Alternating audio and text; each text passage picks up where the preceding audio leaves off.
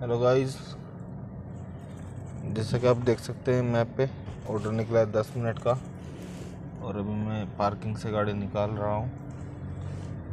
आप वीडियो पे बने रहिए। और वीडियो को पूरा देख के जाइए। और यहाँ पर जाम ही जाम लगा हुआ। हटाओ भाई। ये गाड़ी नहीं हटा रहा है। ये शायद पार्किंग चल भाई तो लगा। ये बी एम डब्ल्यू मारी खड़ी है। तो आपका कुछ भी सवाल हो, आप कमेंट बॉक्स में पूछ सकते हैं। मैं वहाँ पर आपको डेफिनेटली जवाब दूँगा। और कुछ भाई व्हाट्सएप पे भी पूछ रहे हैं, उनको मैं जवाब दे रहा हूँ। और एक भाई का सवाल था आज। कि हंगर स्टेशन में जो सत्रह डिलीवरी पर डे मांग रहे हैं, क्या वो टारगेट पूरा कर पाते हैं कि नहीं कर पाता है?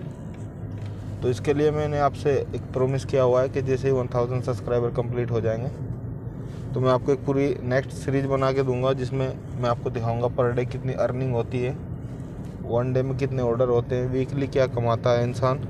तो उसमें क्लियर हो जाएगा कि मेरी आईडी पे कितना कितना मैंने काम किया हुआ है, ठीक है? क्योंकि अक्सर लोगों का सवाल यही आता है कि 16 ऑर्डर कंप्लीट करेंगे, नहीं करेंगे, टारगेट 550 का है, किसी का 416 का है।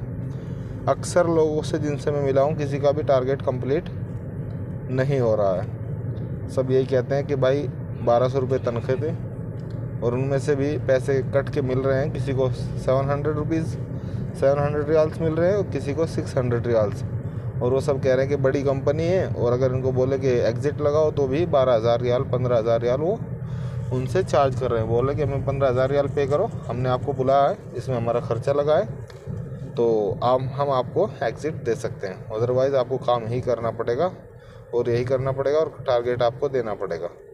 आप सो, ना सो, आपको खाना बनाओ या ना बनाओ, उनको, उनका टारगेट चाहिए। यहाँ पर जाम लगा हुआ है।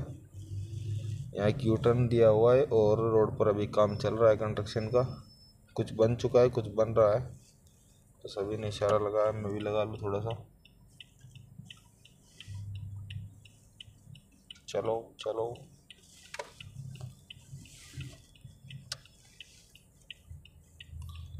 गूगल रास्ता राइट से दिखा रहा है। गूगल का मुख्ताबान हो गया है।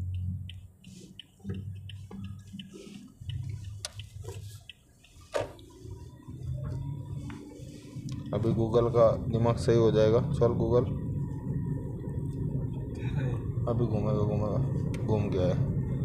अभी घूम गया है गूगल गूगल मैप कभी दूर से दिखाता है, कभी पास से दिखाता है। थोड़ा हैंग चलता है मेरे भाई की तरह। हाँ मेरे भाई?